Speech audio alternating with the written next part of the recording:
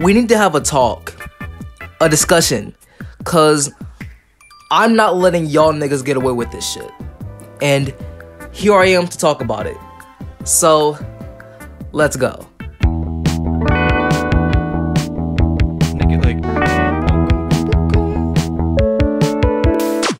You read the title, so let's get into it.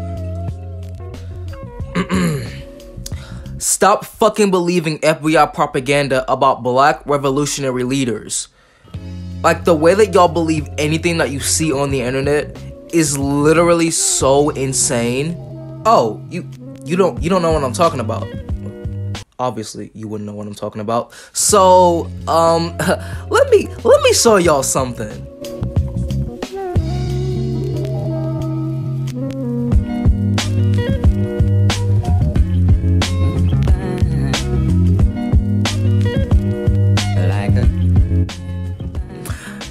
Yeah, I I think you see where the problem lies because you have young black content creators pushing out blatant misinformation about MLK, Malcolm X, and the Black Panthers, and I am so sick of it, I swear. Cause like, where did you get this information from? J. Edgar Hoover? Richard Nixon? Y'all be putting out shit like this and then the source be coming from like the most racist dude imaginable. I just don't get it. I don't understand. Because, okay, okay. Can you really look into my face, my face right here, and tell me that you trust what J. Edgar Hoover, J. Edgar Hoover has to say about black revolutionary leaders? Like my nigga, the FBI and the CIA got a chokehold over y'all, and you're playing right into their game. The FBI and the CIA have been known to put out rumors and false info on black revolutionary leaders to tarnish their names and downplay their movements and what they were striving for. And niggas like them, they look at that false info and believe it. And oh my gosh, guess what? It's working! Because before those videos were deleted, they had 1.7 million likes, 72.7k shares, and 7.7 million views, and 15.4k likes, dog. Just think about how many people looked at that and truly believe it now. Think about how many people shared it to their family and their friends.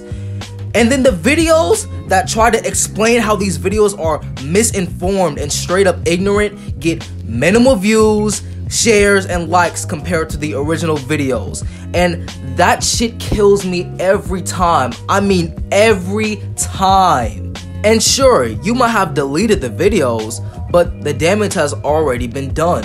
You have brainwashed so many people into believing this false information about our own leaders. Like, what in the actual fuck? You might as well be on the FBI's payroll at this point. You did exactly what they wanted you to do.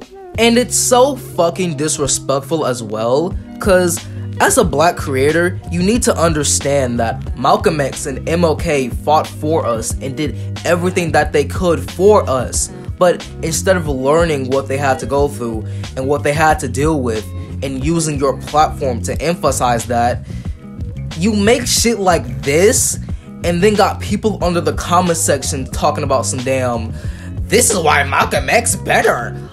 This is why I've never liked MLK. No more school projects about MLK now. And it's so embarrassing. Like y'all make these videos every 2 months. I swear y'all do. And and this shit right here is why we'll never be free, dog. I I, I can't believe it. And yeah, I know that Malcolm X and MLK and the Black Panthers weren't perfect people, but hmm. Okay, here's another excellent black creator that can explain it way better than I ever could. He didn't want to leave his wife for a white woman, and that was not his motivation for ending segregation. This seems really fucked up when you like when you really think about it. Um, the motivation for ending segregation was equality and no longer being fucking oppressed. Yeah, he had a white girlfriend when he was a teenager in the 40s, which is like 20 years before his civil rights activist work, or 10, 15, whatever. He got married and had a family. He cheated, but like the evidence of him cheating came from the FBI, which was extremely racist.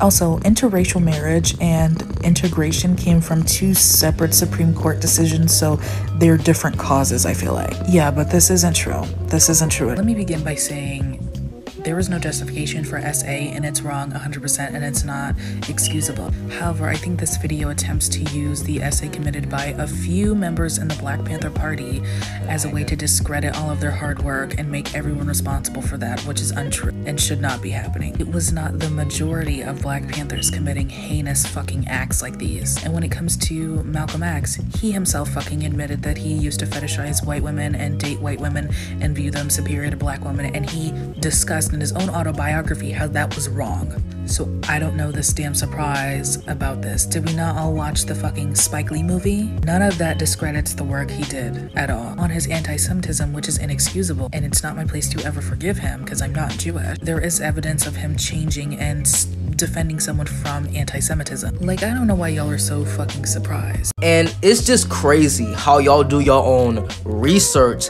and it's just fucking FBI propaganda from the J. Edgar Hoover files, from the J. Edgar Hoover tapes. Like, stop spreading misinformation to appear woke. And also, stop comparing our black revolutionary leaders.